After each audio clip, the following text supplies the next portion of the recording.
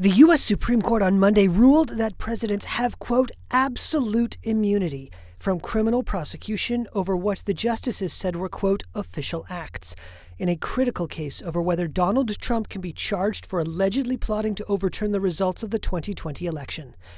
The landmark ruling recognizes, for the first time ever, any form of presidential immunity from prosecution.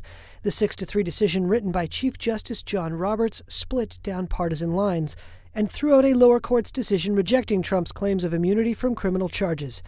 It ordered the lower court to evaluate which of the alleged crimes in the indictment were, quote, official and therefore immune from prosecution, and which were, quote, unofficial and potentially criminal.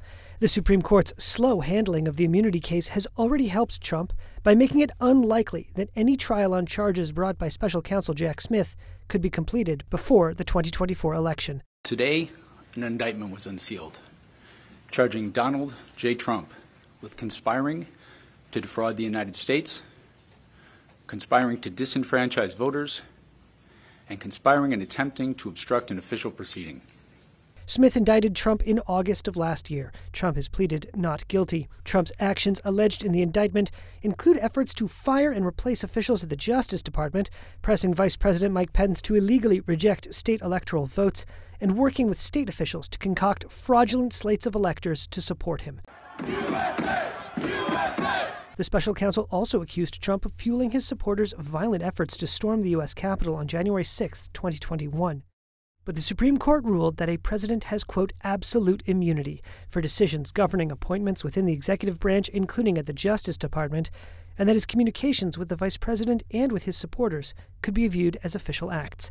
Liberal Justice Sonia Sotomayor excoriated the majority decision in a dissent, writing, quote, Today's decision to grant former presidents criminal immunity reshapes the institution of the presidency. It makes a mockery of the principle, foundational to our Constitution and system of government, that no man is above the law. She added that the majority believed Trump should enjoy immunity from prosecution, quote, and so it invents an atextual, ahistorical, and unjustifiable immunity that puts the president above the law.